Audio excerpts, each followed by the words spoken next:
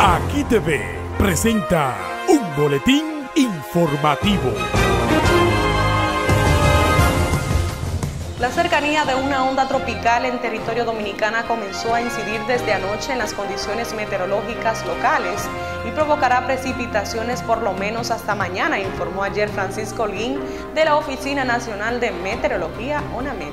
Continúe con nosotros y espere nuestro próximo avance informativo. Aquí TV presenta un boletín informativo.